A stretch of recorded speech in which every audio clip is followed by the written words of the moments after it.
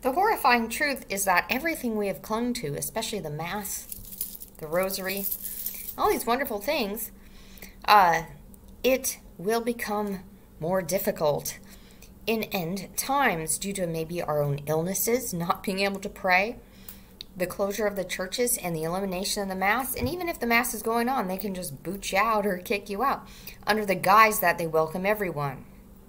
And we know this is true by the canceled priests. But what I'm saying is a family is very, very important. And when the family gets decomposed, do you think God is going to give us the Latin Mass so we can all go in and praise Him? Do you really, really think that He's going to keep the Latin Mass with all the hypocrites?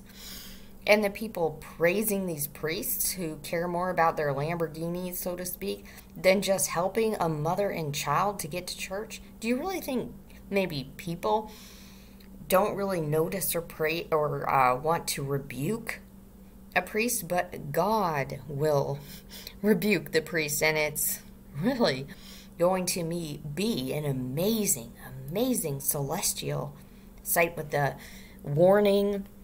All these wonderful things happen that even as uh, Valentina Sidney Cyr said, we can only in awe praise the Lord for his just ordinances.